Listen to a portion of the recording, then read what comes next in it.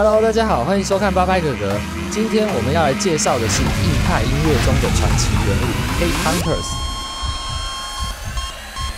This music is our destiny.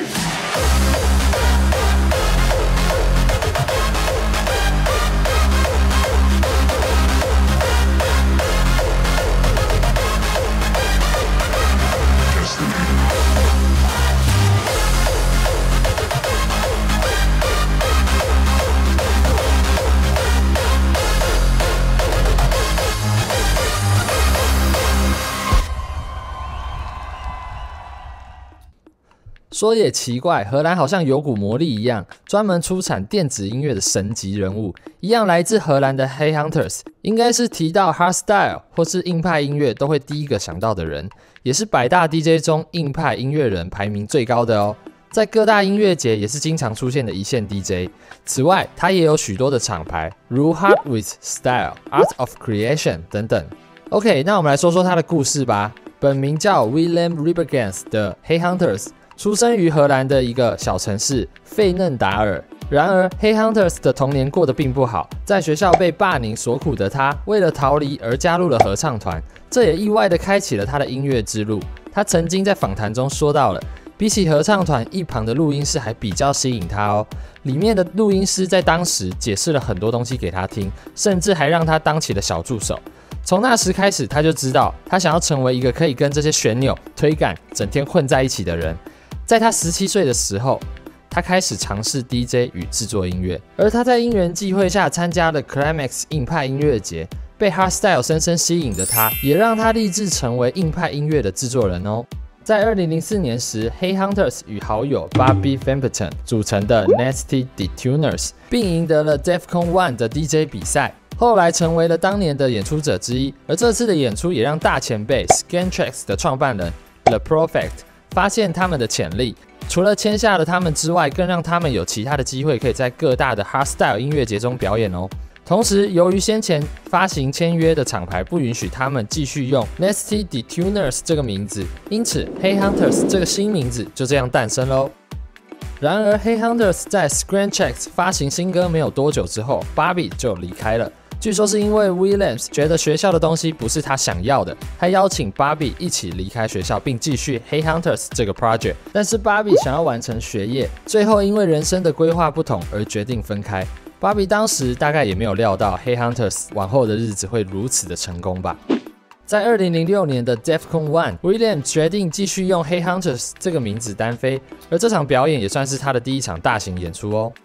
时间到了二零零七年，可以说是 Hey Hunters 起飞的关键一年。除了与恩斯 The Prophet 及另一位硬派音乐大佬 Frontliner 的各种合作外，更是第一次为 Climax 音乐节制作主题曲哦，就是这一首 The Power of the Mind。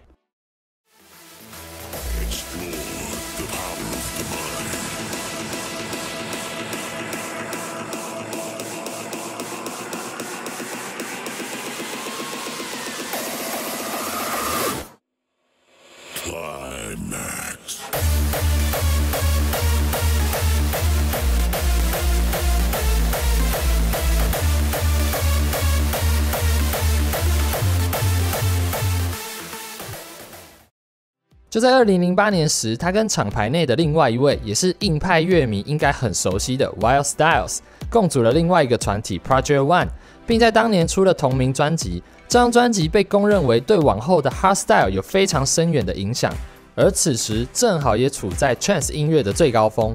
在这张专辑里面，处处可以看到 Trance 的踪迹哦。让我们来听一下这张专辑里面一首经典的歌曲《The Art of Creation》。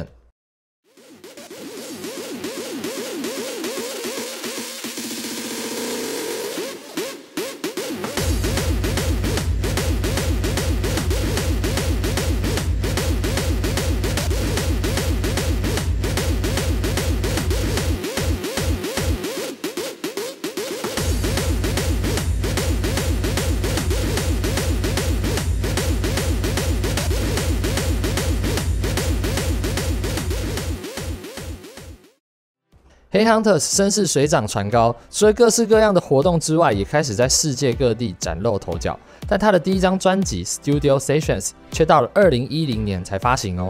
同年，他也是第一次进入百大 DJ 的名单内，并且第一次进榜就获得了三十六名的佳绩哦。隔年，他也开始了他每个月一次的 Podcast Hard with Style。然而，他的 EP From Within The Message Is Hardstyle 却被大家 diss 到爆炸，尤其是 The Message Is Hardstyle 这首歌。甚至还有网友嘲讽说，整首歌软趴趴的，结果歌词却是在说这是 hard style。更有人说他变得非常的商业化，看看 YouTube 这一堆 unlike 就知道了，当时他被泡的有多惨。让我们来听一下吧。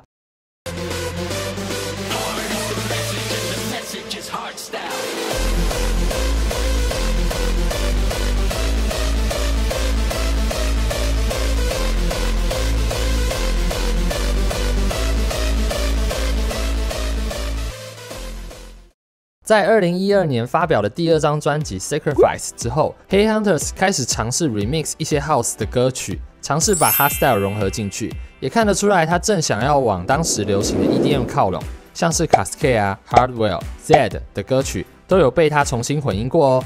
而当时他也提到，帮其他类型的音乐做 remix，比在自己熟悉的曲风更有意义。我也希望我的乐迷们可以从里面得到一些什么。在二零一三年，黑 Hunters 做出了一个重大决定，就是加入知名电音厂牌 Ultra Music。这无论是对他或是整个硬派音乐，都是一个非常大的里程碑哦，也可以反映出 Hardstyle 的兴起。而这首 Colors 正是他第一首在 Ultra Music 发行的单曲哦，我们来听听看吧。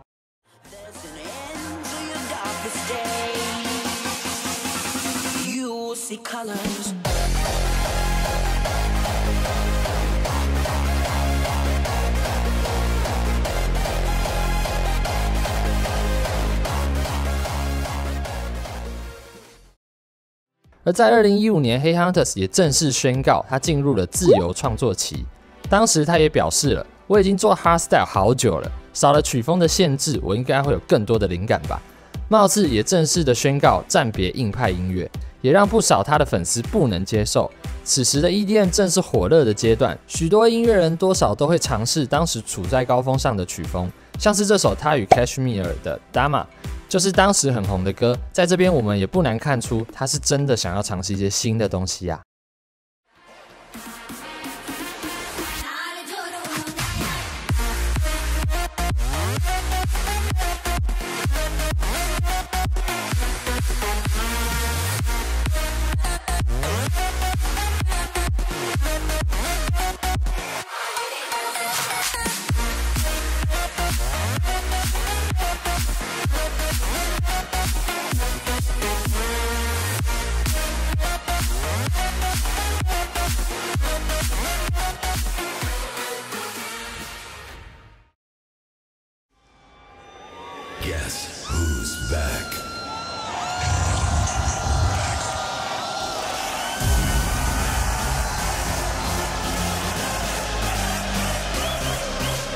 在二零一七年的 Q Dance，他宣布回归硬派音乐。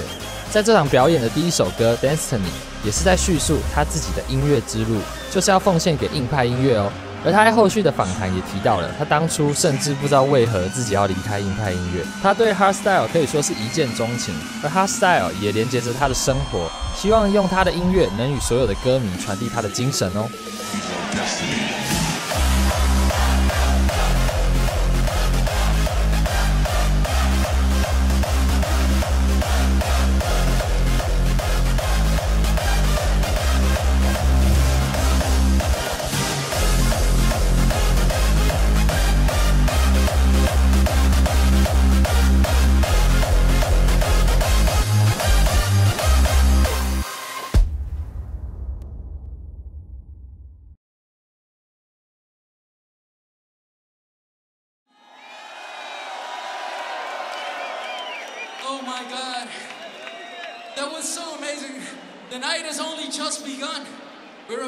Continue, but of course I have to do a little word to thank you guys and all because really, you know, it's like I I I'm sorry for confusing you guys. I'm so freaking grateful that you guys are welcoming me like this. I have never felt so welcome in my entire life and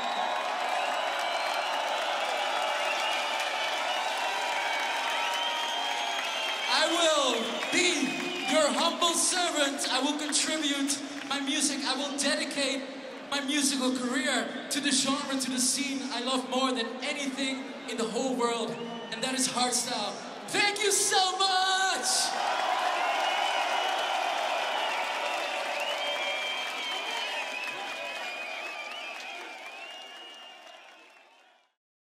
OK，那我们今天的介绍就到这边，希望大家对于敲碗已久的硬派代表黑 Hunters 能有更多的认识。